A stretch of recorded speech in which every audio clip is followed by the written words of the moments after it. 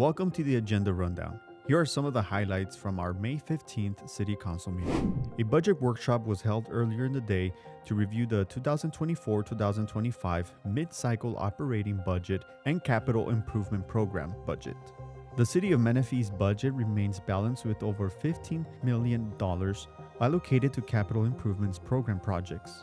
The city approved worked on several projects including the Ceniceros parking lot renovation and La Ladera park enhancement projects, Bradley Road widening near Paloma Valley High School northern entrance project, citywide traffic signal safety improvements project, and the fiscal year 2023-2024 local road asphalt and concrete resurfacing program project.